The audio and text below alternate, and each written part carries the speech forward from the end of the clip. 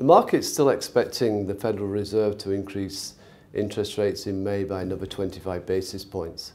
Um, but the big news is that we think the tightening cycle's over.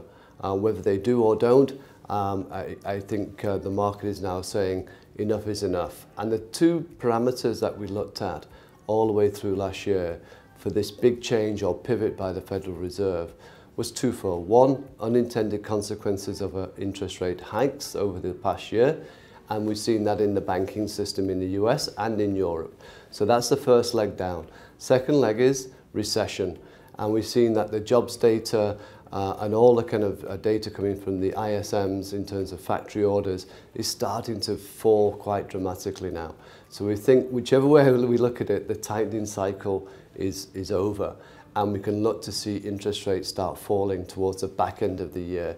The markets will start to look ahead of this and say, okay, we might be going to recession, but interest rates will come down. Then we can look for the next leg of, leg of growth.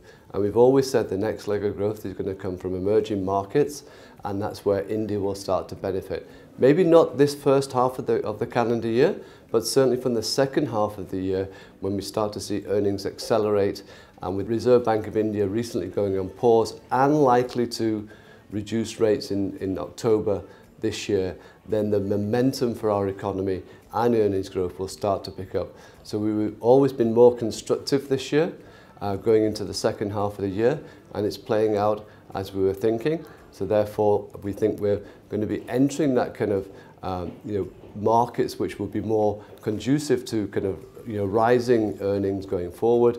Uh, there will be hiccups along the way, don't, don't get me wrong. There's still possibly unintended consequences out there as credit cycle is still, still tight. Um, but these are the opportunities now.